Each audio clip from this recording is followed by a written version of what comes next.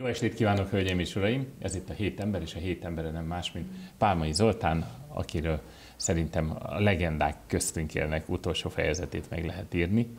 Kiváló dobos, zenész, zenetanár. Honnan jött a zene szeretete? Mármint nem az, hogy gondolom, hogy az, a zenét ezt önmagába szeretted, honnan jött az, hogy azt gondoltad, hogy te ezt csinálod is, nem csak hallgatod? Hát ezt ki kell próbálni, hogyha, hogyha valami motoszkál benne. Tehát gyerekkorban de gyerekkorban ugye minden, minden gyerek kell, hogy találkozzon a zenével. Úgyhogy válassza, vagy elutasítsa, tehát azt ki kell, hogy próbálja. Gyerekkoromban zongorázni tanultam,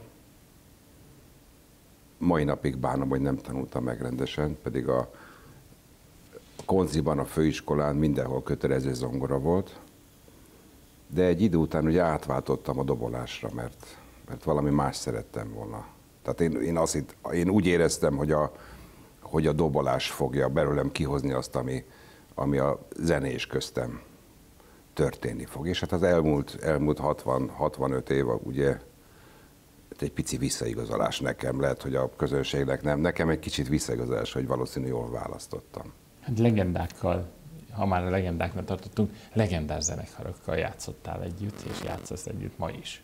Igen, gyönyörű. Úgy szoktam mondani, hogy szép múltál előttem, mert ugye 73-tal a P-Mobil, után a Homo Blues Band, Beatrice P-Box, Illés, és hát írdatlan sok stúdiólemes, stúdió felvétel, Zábor Jimmy, minden, mindenkivel, tényleg mindenkivel játszottam, aki, akivel szerettem volna játszani. Nehéz azt megélni most, hogy ha azt mondják, hogy Dob és Pálmai, akkor egy minőséget várnak? Nem, szerintem, szerintem bárhol tudom hozni magam. Bárhol tudom hozni magam, bárhol, bárhol bele, be, be tudok ülni úgy sessionbe, hogy, hogy abba, például, hogy a country, például, hogy a százfolkkal nagyon sokat helyettesítem a Kocsán Miki barátomat, és akkor az van, hogy akkor be kell, be kell bújni egy country bőrbe, és akkor a country szépen ledobolni. Vagy például a Doliról, vagy például a Bangó Margit, vagy például a Száztagú cigányzenekar. Azt mondom, hogy akkor, akkor hozom azt, a, azt az eszköztárat, ami a pámaira jellemző, de azt a zenét kell kiszolgálni, és tulajdonképpen ez a lényeg, hogy, hogy intelligensen és, és, és, és muzikálisan szolgáljuk ki mindig azt, amit csinálunk. Hát ugye az együttes ez egy csapatmunka, de azt szokták mondani, hogy ugye azt tanítja, aki nem tudja. De hát te tudod, akkor miért tanítod? Miért tanítom? Persze, miért, miért tanítom. Aki tudja, az, az inkább tanítsa, aki nem tudja. Uh-huh. Ö, tehát van egy, van egy, minden zenészben van egy olyan, egy olyan szent háromság, hogy, hogy játszani, gyakorolni és tanítani. Borzasztó sokat lehet tanulni abból, hogy, hogy kisgyerekeket tanítunk, mert ők teljesen más rófra jár az agyuk, teljesen másképp kezd, egy, sokkal egyszerűbben, tehát a, a, mindig a primér oldalát közelítik meg a, a, a zenetanulásnak, vagy lustaságból, vagy, vagy praktikusan, de borzasztóan sokat lehet tanulni abból, hogy egy, egy leül veled szembe egy 7 éves kisgyerek, aki életében nem találkozott még a zenével és elkezdett, elkezdett tanítani. Na most itt nagyon érdekes dolog, tehát nem, nem arról van szó, hogy, hogy kineveljek egy olyat, mint én vagyok, tehát szó sem, erről szó sincsen. Másrészt nem skanderozom velük, hanem ezeket a megszenvedett evidenciákat próbálom neki átadni. Hogy, hogy, hogy kéne azt csinálni, hogy kéne azt csinálni, meg, meghagyni a saját, saját maguk is világát, a saját maga elképzelését a zenéről, de de állandóan, állandóan igazgatni, állandóan lecsipkedni azokat a vadhajtásokat, amik följönnek rá. Tehát eh, ez egy borzasztó szép munka. Ugye de, van egy... De nagyon nagy felelősség is, nem? Felelősség, mert, mert eh, gyerekeket nem csapunk be, szülőket nem csapunk be, tehát soha nem csinálunk olyat, hogy... Eh, tehát hogy... te megmondod, hogyha érzed, hogy gyereknek ez nincs készség, vagy igen? Mindenképpen. Tavaly történt egy olyan, hogy lejött egy apuka, volt egy kis gyerek, akivel ugye nagyon, nehez, nagyon nehezen haladtunk.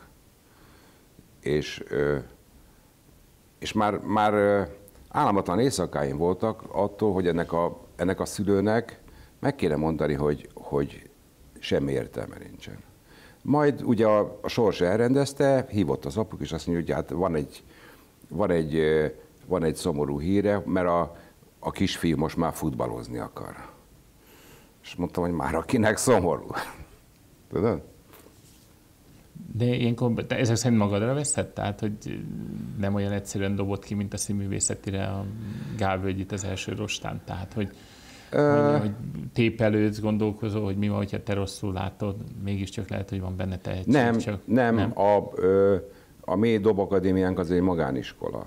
Tehát nagyon, nagyon megnézzük azt, hogy, hogy, hogy kivel dolgozunk.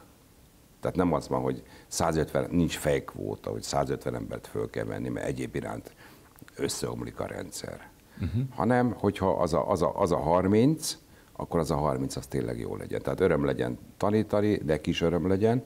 A motivációja mindig lebegjen, az én motivációm is mindig lebegjen. Ne úgy menjek be egy órára, hogy Jézusom, megint ez a... Tudod? Tehát mindig, akik, akik ott vannak, azokkal azokkal szívesen dolgozunk, azokkal öröm dolgozni. Hogy tudod motiválni a, a fiatalokat a munkára? Megmondom miért, mert ugye óhatatlan, amit látnak a, a televízión, vagy éppen az interneten keresztül, hogy nagyon sok ember, akinek előképzettsége vagy megfelelő alapjai nincsenek, pillanatok alatt feltűnik egy-egy válogató műsorban, vagy, vagy tehetségkutató őrületben, és akkor onnantól kezdve azt gondolja, hogy az, aki követik ezeren, kétezeren, ezeren, tehát egy ilyen könnyűnek tűnik, hogy hát ez, miért kéne nekem hetente négyszer bejönni, és otthon pedig három órát gyakorolni. Tehát uh-huh. miképpen tudod őket motiválni, mert hogy való igaz, hogy mindenki azt gondolja, hogy dobolni mindenki tud, aztán valaki próbálja meg, és rájön, hogy soha senki ennél nehezebb nincs. csak úgy tudom őket motiválni, hogy bizonyos, bizonyos zenéket meg kell hallgatni. Tehát ennek van egy tanrendje, uh-huh. van egy tanmenete, szépen, szépen haladunk, szépen haladunk, és ugye ezek a gyerekek már telefonról, YouTube-ról, tehát világhálóról mindenféle zenéket leszednek. És ö, persze a, a divatos zenéket szeretnék játszani, de nekünk az a, az a ö, feladatunk, hogy az egészen az alapoktól, tehát vissza kell mennünk 1960-ig. Tehát vissza kell mennünk ahhoz, amikor, amikor volt ez a, a brit invázió, amikor a, a, a Beatles és a Rolling Stones elindult. Tehát vissza kell mennünk egészen az alapokig, hogy, hogy ez a zene, mert ők azt hiszik, hogy a, a Well Hello az, az egyszer csak történelmet ért. Nem, hát a nagyon érdekes. Tehát az Európa 2000-nek vagyok a zenetanára, és ezekkel a problémákkal minden nap szembesülök. Tehát az, hogy tehát én ezt úgy szeretném csinálni, hogy Bachtól Stingig megmutatom, hogy hogy, hogy jutott el.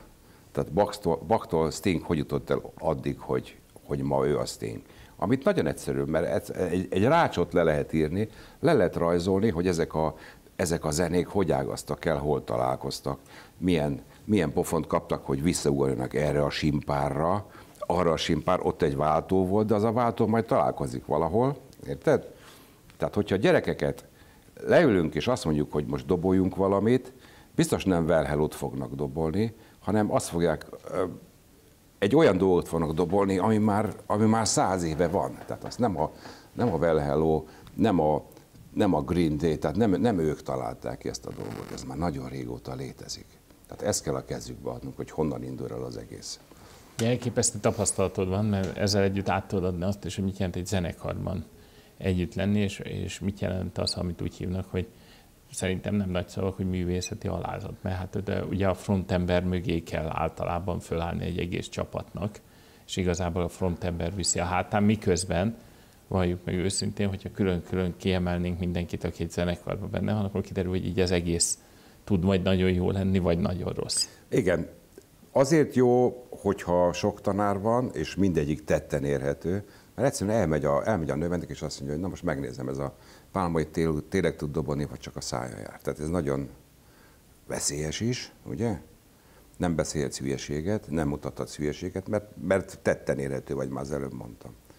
Tehát ez nagyon, nagyon nehéz, de hát nagyon, nagyon szép dolog. Azért szép dolog, hogy a, ugye mindig a legjobbak tovább mennek ebből az iskolából, tehát fölmennek egy magasabb szintre, állami iskolákba, és ugye ez... Onnan jön visszajelzés neked, hogy ez jó alapokat? Persze, persze, mindig, mindig jön visszajelzés. És ugye így, így bukok 5-10 növendéket évente, és ugye itt van a kicsit vicces. Mármint úgy, hogy buksz, hogy följebb kerülnek. Igen, eltű, eltűnnek. Igen. Tudod, tehát kineveltem, eltűnnek. Na most így viccesen szoktam ezen elgondolkozni, hogy vagy rosszabbul kéne tanítani, és akkor ők itt maradnak, vagy nagyon jól tanítok, és eltűnnek. Tudod, valószínűleg a második lesz az igaz. Egy kicsit úgy vagy, mint a jó edzők. Mindenképpen, mindenképpen, ami, amiben ugye Magyarországon, vagy manapság a legrosszabb üzlet az utánpótlásba belefektetni, mert kinek, kinek van 15 éve nem? Hát nekem még van 80 is. Nekem még van vagy 80, de hát mindenki berakja és ki akarja venni, nem? Hát a utánpótlás nevelés az nem ilyen. Azért is gondoltam, hogy most a szokásos interjúk helyett, ahol a zenekarokat és a nagy időket idézzük helyett, inkább beszéljünk egy kicsit magáról a tanításról, meg a utánpótlás nevelésről, mert hogy te első kézből látod, hogy hogy szerintem egyrészt ugye az az örökbecsű mondás, miszerint a zene mindenkiné, ezt néha közhelyként is szokták mondani, de hogy a zenészek mindenkié, ez is szerintem így van. Magyarán szóval, hogy hogy látod, hogy a utánpótlásszerűen jól állunk? Nagyon. Nagyon. Rendkívül sok. Mi a Nagyon. fiatal tehetséges? Egy, egy amatőr rockfesztiválnak most már 15 éve vagyok az egyik zsűri tagja, és elképesztően jól, jól zenének ezek a fiatal gyerekek. Elképesztő. És, és az a jó, az, azért jó látni őket, mert nem akarnak hasonlítani, tehát mindegyik más. Mindenféle formációk vannak, van trió, van ez, vannak tiszta őrültek, ami megint csak, megint csak nagy jó, mert ők teljesen másképp gondolják ezt a, ezt a zenét. A srácok megkérdezik, hogy mi a sikertitka, és határozottan nem népszerűséget említek, hanem a sikertitka akkor mit mondasz? Azt mondom, a egyik általam nagyon, nagyon tisztelt zenész kollégámnak azt mondja, a sikenek nem titka van, nem ára. Tehát a És akkor mi az ára? Sikernek mi az ára? Hát azt, hogy megtapasztalni lenni és fönn. És még valami, ugye akkor is bízni benne, amikor nem megy. Tehát akkor, akkor könnyű bízni valami, amikor, amikor tényleg megy a szekér. Tehát amikor megáll, mint például most, most ugye három, három-négy hónapja áll minden. És mégis mindenki tovább dolgozik, otthon dolgozik, ö, csomó mindent letöröl a fejében, új, új gondolatok jönnek az a, letörölt gondolatok helyén. Tehát most is kell bízni abban, hogy ez, ez be fog indulni, megint fogunk zenélni, mást fogunk zenélni, jobban fogunk zenélni. Tehát szerintem erről van szó, hogy hogy nagyon sok, nagyon sok munkát kell lerakni. Megint csak a növendékeknek mondom, hogy, hogy lehozhatnak bármekkora 200 terrás pendrive-ot, akkor sem fogják ezt elvinni innen. Tehát csak úgy, hogy leülnek és kigyakorolják. Ez másképp nem megy. Sajnos ez másképp, ez nem letölthető ez a tudás. Tudom, nem olyan, egy... kinyomtatok egy oklevelet, és nem, nem, nem, nem, nem, nem, nem. Tehát a, föl kell menni a színpad, és igen. egy pillanat alatt kiderül. Tehát a, a rébai vagy... nagy lexikont kihúzzuk, de ezt, hogy sajnos nem tudjuk. Tehát ezért, ezért naponta meg kell szenvedni. És ugye itt, itt dől el, hogy, hogy van-e benne annyi kitartás. Zoli, engedd meg, hogy megköszönjem egyrészt, hogy megtiszteltél így a vírus után. Köszönöm szépen a viszont, meghívást. Viszont ami még ennél is fontosabb, hogy szeretnénk egy apró visszajelzést adni és ez az apró visszajelzés úgy szól, hogy engedd meg, hogy a tévé meg a magam nevébe átadjam ezt a kis díjat, mint a hét embere, fogad szeretettel. És Nagyon szépen köszönöm. Mind, mind a művészi, mind a szakmai, meg mind az oktatói munkádhoz sok sikert kívánunk. Nagyon szépen köszönöm. Vigyázz magadra. Hölgyeim és uraim, mi pedig rögtön folytatjuk. Köszönöm szépen.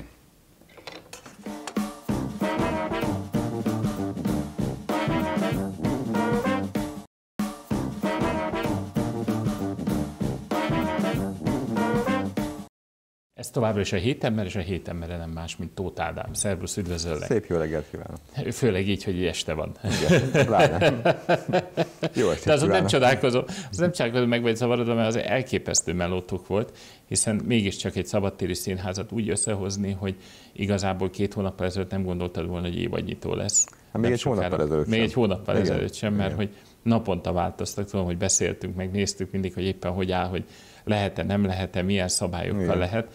Akkor kezdjük a legjobb hírrel, hogy idén is lesz Csillebércen, szabadtéri színház, ugyanúgy, mint tavaly. Igen. És mik a, mik a, a, még nem az, hogy mik a darabok, hanem hogy hogyan készültök. Tehát vannak ilyen szabályok most, hogy hány helyen lehet ülni, vagy lehet ülni most már mindenhol. Nincs. Nincsenek ilyen? Nincs. Tehát, mesélj. Tehát az a szabály most, hogy nincs szabály. Az jó. Úgy tudunk megnyitni július 11-én, hogy gyakorlatilag a teljes nézőteret meg tudjuk nyitni. Úgyhogy nem kell szétültetnünk a családtagokat egymástól, nem kell olyan, olyan sorokat kihagyni, ami amúgy is csökkenteni a nézőtér a befogadó képességét, és meg elveszteni a hangulatát is. Pont ezt akartam még mondani, hogy igen, hogy egy kicsit ugye a színházi a hangulatot is legyilkolta volna az, hogyha így nagyon szét van ültetve a, a közönség. Úgyhogy úgy tudunk szabadtéren előadásokat tartani, hogy, hogy, hogy mint tavaly. Tehát, hogy nincs semmilyen ilyen jellegű korlátozás. Nyilván mi azért készülünk, mert erős, eddig is nagyon tiszta volt a Budai Szabadtéri Színház, de, de nagyon erős higiéniai előírásokat írtam elő a kollégáknak, úgyhogy gyakorlatilag patyolat tisztává varázsoljuk minden előadás előtt és utána színpadot, színházat és a nézőteret. Ugye, a tavalyi évben, amikor ebbe belevágtál, akkor sokan tamáskodtak, hogy vajon ezt meg lehet csinálni, és akkor elképesztő munkát, energiát két kezeddel is be, beleugorva lecserélődtek a széksorok, kultúráltá váltak ott a szociális helységek, a színészeknek a felkészülő része is, tehát a hátsó, hogy backstage Milyen színész simogatónak hívjuk. Igen, színész simogató is. Normálisá vált, hogy létrehoztatok ott egy kávézót is, szóval az egész ilyen nagyon kultúrát lett azáltal, hogy, hogy végre van egy valódi gazdája ennek a területnek, aki jelen esetben te vagy. Visszatérve még itt az elején, amikor ugye kezdted tervezni az évadot, hát még januárban beszéltünk, akkor még ugye még nem lehetett látni, hogy jön ez a vírus. Aztán, amikor bejött a vírus, és látszott, hogy egymás után záródnak be a lehetőségek, akkor mit tartotta benned a lelket? Mert azt tudom, hogy folyamatosan ugye létrehoztál egy saját ilyen színházi dolgozók csoportját, létrehoztál másfajta csoportot, és mindenkiben kvázi, mint egy ilyen jóságos apuka tartotta a lelket, hogy mindenki nyugodjon meg, jön még közönség, lesz még színpad, addig mindenki készüljön, gyakoroljon otthon, amit tehet, senki Igen. nincs magára hagyva. Miben volt ez az optimizmusod? Mert azért nem sokan osztották ezt mondjuk, még ahogy te mondtad ezelőtt egy hónappal se. Hát én már akkor úgy nyitottam meg a jegyértékesítést egyébként, ahogy most van, amikor még nem lehetett Igen. tudni, és nem lehetett erre fölkészülni. Ennek az az oka, hogy én azért nyilván figyeltem a, a külföldi fejleményeket, vannak nekem is orvosismerőseim, tehát én ezt nem tartottam elképzelhetőnek, hogy egy ilyen vírus mondjuk egy évre lebénítsa a, a világot, meg a színházakat. Ezért, ezért nagyon optimistán álltam hozzá. Ez és, És, és, szerintem ennek köszönhető egyébként, hogy megszűnt a vírushelyzet, az én optimizmusom. Kétségtelen, úgy, úgy volt a vírus vele, hogy hát ezt már színház nélkül nem bírom, Igen. inkább akkor ezt én leállok. Igen, hát így. így. A, a, a színháznak magának ugye vannak saját produkciója is, meg hát vannak befogadó színház jellegéből adódóan Igen. mindenfelől jönnek. Mire vagy a legbüszkébb, gondolom, mind a, arra, hogy egyrészt, hogy a legtöbbet legtöbb darabot bemutató szabadtéri színház lettetek. Igen. De hogy, de hogy amellett, hogy mely darabokra vagy most igazán, tehát merre hívnád a figyelmet, hogyha azt mondanánk, hogy egy kis csalogatót szeretnénk? Hát ezen a nyáron is nagyon változatos programok lesznek. Nem azt a tervet tudtuk hozni teljes egészében, amit ugye, mert már elvileg nyitva lennénk, hogyha nem így történnek a dolgok, ahogy történtek, de nagyon változatosak a programok, és így, így külön kiemelni nehéz, mert mindegyik azért van ott, mert hát, ugye a szívem csücske. De igen, mert hogy van Nótaestől kezdve az István királyig, igen. kabarétól a musicalig. Edda koncertek, tehát hogy olyan... Ákos tribútot is láttam. Igen, de ő nem Ákos fogja előadni, hanem egy Ákosnak a rajongója mondjuk úgy csinál egy ilyen nagyon-nagyon színvonalas estet Ákos dalaiból. De, de de tényleg nagyon változatosra sikerült, és kora esti nyári kabaréktól kezdve a, a, a nagy musical képzelt Report szimfonikus koncerten át, operetten keresztül, rockopera jellegű gála esteken keresztül nagyon sok minden megtalálható, sőt, még ugye idén is megtartjuk a horrorfilmek éjszakáját, ami egy nagyon kedvelt program. Egész este igazi klasszikus horrorfilmeket vetítünk, de még a színház környezetét is egy kicsit ijesztővé tesszük.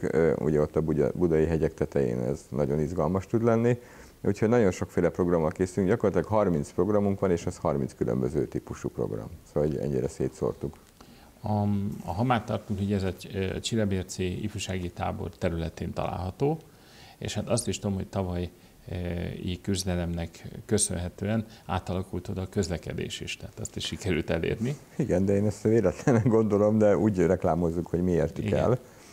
A 21-es busz, ami eddig a, a Normafánál állt meg, és az volt a végállomás, az a végállomás, az teljes egészében átkerült két megállóval följebb oda, ahol a mi színházunknak a bejárata van. Tehát magyarul valaki a Szélkámán térben felszáll, és ott nálatok lesz. Nál, nálunk leszáll, igen. És hát volt eddig is olyan járat, ami eljött hozzánk, csak ez nagyon ritka volt, a 21A, azt hiszem. Sose jöttem még föl busszal, de, de úgy tudom, hogy volt már egy, ami, ami szintén a Szélkámán törül indul, csak ritkán járt. Most viszont gyakorlatilag 5 percenként jár a busz a színház előtt, és ez a az előadások után megkönnyíti a hazajutási lehetőséget is. Igen, mert hogy átlagosan, tehát a főszabály szerintem 9 óra felé fejeződik be. Igen.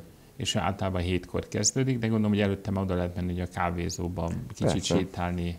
Hát idén még készülünk egy újdonsággal, lesz egy Chill Garden, a Csillebérzből egy Chill Garden nevű ö, kis kert, kertünk még a színházon belül, ami minden este nyitva lesz. Ö, na, nyugágyak, hogy hívják azt, amit a két fa közé kif... a függőágy. függőágy. Függőágyak, napozóágyak és mindenféle egyéb kényelmes eszközökön lehet elképesztően finom koktélokat fogyasztani, tehát minden este nyitva leszünk. Amikor nincs előadás és koncert, akkor viszont kereokizni lehet, és ott csillezni ebben a Chill Gardenben. De a Chill Gardenben egyébként is lehet? Ott bármikor lehet, amikor nyitva van minden nap déltől éjfélig.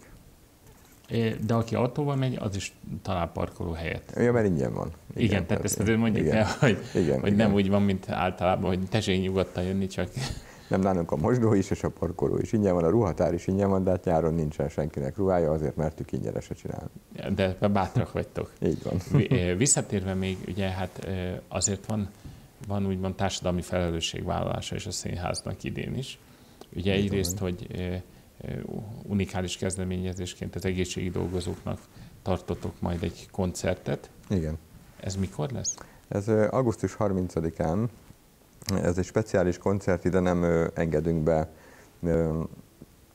az egészségügyi dolgozókon, az általunk meghívott egészségügyi dolgozókon kívül nézőt. Ezer olyan szemét hívtunk meg, akik aktívan részt vettek az elmúlt hónapoknak a a küzdelmében, tehát mentősök, ápolók, szakorvosok, és, és mindenki olyan, aki mondjuk úgy, hogy a veszélyeztetett zónában működött, beleértve az operatív törzset, Müller Cecília tisztifőorvos asszonyt is meghívtuk, úgyhogy kifejezetten nekik a színházom, színházam társulatának tagjai, és még egyéb meghívott művészek, illetve olyan művészek, akik önként felajánlották, hogy, hogy fölépnek ezen, tartunk egy, egy ilyen köszönöm hála koncert jellegű kis előadást, igen.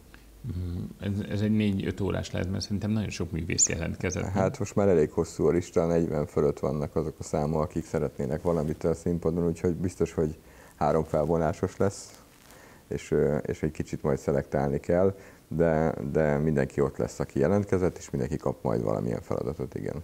Nagyon sokan akarnak köszönetet mondani. Én is szeretnék majd köszönetet mondani, de én azért, mert hogy 29-én meg délelőtt a szépkorúaké a így színpad, van. illetve maga a színház, hogy ott a, a hagyományosan már a Szépkorúak Fesztiválja megrendezésre kerül, ami a szépkorúak számára ingyenesen biztosít egy kis jó levegőn tartanó, kell egy kis együttlét eseményt, ami állás köszönet azért is, hogy idén is befogadta a tavalyi módhoz képest hasonló lehetőséggel. Ha, hogy látod, hogy az emberek mennyire mernek, vagy akarnak színházba menni? Mert azért nagyjából látod a, a vírus alatt, hogy hogyan kezdtek jegyeket vásárolni, különböző zseniális akciókat hirdettél meg, meg hát most, hogy amikor már látszik, hogy, hogy megnyugszani látszanak a kedélyek. Mert ugye sokan mondták, hogy ez tök mindegy, hogy nyitva lesz egy színház, vagy nem lesz, az emberek nem nagyon mernek menni. Hál' Istennek mernek. mernek. Jaj, de jó. De van egy, egy bizonyos réteg, akiket nagyon, nagyon megijesztett a média egy része, és, és ők, ők tényleg teljes pánikban, rettegésben élnek, ezt jó lenne majd valakinek kezelnie, valamilyen ország pszichológusnak ezt a médián keresztül majd átfordítani és megnyugtatni az embereket, mert erre mi kevesek vagyunk, vagy ehhez mi kevesek. De, de sokkal nagyobb a jegyeladásunk most, mint tavaly ilyenkor. Tehát, hogy, hogy kirobbannak az emberek igazából otthonról. Úgyhogy, hát és ráadásul azért, ami az előnye, az ugye, hogy szabadtéren van, minden fúj nap a szél. fúj a szél, Igen. változatos a program, tehát Igen. ez nagy baj nem lehet, kultúrált a környezet, Igen. biztonságos, és most már, hogy a közlekedés, úgymond a, a közösségi közlekedés is segíti azt, hogy a színházból hazajutni is könnyebb, meg oda jutni, és ez szerintem megint csak hoz, mint inkább vinne ez a lehetőséghez. De ha már a szabadtérnél tartunk, a szabadtérnek két ellensége van, az első a rossz előadás, a másik meg az eső. Igen. Ebben hogy állsz? Tehát naponta járod el az esőűző táncot, vagy uh-huh. hogy készültök? Például gondolok arra, hogy, hogy van-e mondjuk olyan szabály, hogy akkor a, a színpadnak a, a, a Facebook oldalán mondjuk két órával kezdés előtt kiírjátok el, hogy akkor hogy esik, vagy Igen, nem esik? ezt tavaly is így csináltuk egyébként, de, de tavaly egy előadásunk maradt el az eső miatt. Ilyenkor ugye az eső napon kerül pótlásra mindig az előadás, tehát hogy teljesen sosem marad el. Mindegyik előadásunknak van kitűzött esőnapja, általában a rákövetkezendő hétfőket szerda közül valamelyik. És vannak olyan események, amiket esőben is megtartunk, tehát például tavaly a Király Viktor koncerten végigesett, és egy, azaz egy darab ember ment el a koncertről az, az, a szemerkérő eső miatt, úgyhogy nem minden esetben rossz az, hogyha egy, egy kánikulában elkezd csepegni a hűvös eső, kifejezetten jó hangulatot is csinált, de idén úgy tervezzük, hogy tehát úgy egyeztettünk, hogy nem lesz eső. Nem esik, tehát Igen. ez ugyanúgy, mint a BKV járat, hogy é, pontosan. azt ti intéztétek, de, de meg mondjuk azt, hogy jó, és Igen. utána van. Nézzük egy kicsit távolabb, meg egy kicsit kitekintve, mert hogy mondtam, hogy létrehoztál egy ilyen színházi dolgozók zárt csoportját, ahogy ezt mondják, Igen. a közösségi oldalon, hogy hogy látod, hogy szeptember, október magasságába beindul a normális élet, hogy már sose lesz olyan, mint előtte volt? Nem és tudom. színház szempontból. Mi október tájékán terveztük megnyitni az első saját kőszínházunkat is Óbudán, úgyhogy bízunk benne, hogy így tizen akárhány év küzdelem után végre lesz kőszínház a Súszínháznak, és ennek okán a második hullám is el fog minket kerülni. Tehát, hogy megvan mindig az ellenszerünk erre nem tartok tőle, hogy lesz még ilyen, mint volt mm, tavasszal. Ugye én eleve egy ilyen full optimista ember vagyok, úgyhogy erre nem lehet alapozni, de, de azt gondolom, hogy nem lesz több probléma már. Óbudán mekkora színházat nyittok? Egy 600 férőhelyes az, színházat, az ami, ami szerintem az első magán színház lesz Budapesten, ami ilyen nagy befogadó képességű, mert ugye a Ramot azt nem tekinthetjük annak, hiszen az egy bérlemény volt. Meg is szűnt. Meg egy önkormányzati Igen. Úgyhogy, úgyhogy lesz a Budapesti Sószínháznak kőszínháza végre, így tíz év után. A feleséget hogyan viseli azt, hogy azért gondolom azért jár idegeskedése az, hogy egy ekkora szervezést összerak? Hát aktívan részt vesz benne. Ugye egyrészt, hát így akartam kiprovokálni, hogy azért beszéljünk igen, a két szót, hogy köszönet igen, neki innen is, hogy igen, hát odafigyel rád, oh, meg igen, a produkcióra. Aktívan részt is vesz, tehát ugye jegy eladásokban, jegyszervezésekben nagyon aktívan segít, meg hát mindenben. Tehát most például tegnap éjszaka fél egy körül világító sünöket talált az interneten, amiket letelepítünk ott a Szabadtéri Színház környékén az erdőben és ilyen világítós ülök. Nagyon aranyosnak gondolta, úgyhogy mindjárt rendelt is belőle egy párat a színháznak, szóval aktívan részt vesz a munkában. Innen is jó egészséget kívánok neki is. és engedd meg, hogy a tévé és a magam nevébe és az egész csapatnak. Egyrészt azért a optimizmusért, hogy a koronavírus elleni harcban végighittétek, hogy ennek vége lesz, és ezért Igen. nem adtátok fel. Másrészt az, hogy megköszönve az egészségügyi dolgozóknak adott koncertet, meg hát, hogy mondani szokták, nem minden érdek nélkül megköszönve azt, hogy a szép kurokat idén is befogadtátok 29-én. Fogad el ezt a kis érmét, amit az elején mondta, hogy neked már van ilyen, ez kétségtelen, de ez most a csapaté. Köszönjük szépen, átadom neki. Ki fogjuk tenni a, a színházban megtisztelő. Köszönöm szépen, hogy itt voltál. Hölgyeim és uraim, önöknek is köszönöm a figyelmet. Ne feledjék, a hét emberére önök is tehetnek javaslatot, ki vagy kik legyenek a hét emberei. Viszont látásra jövő héten találkozunk.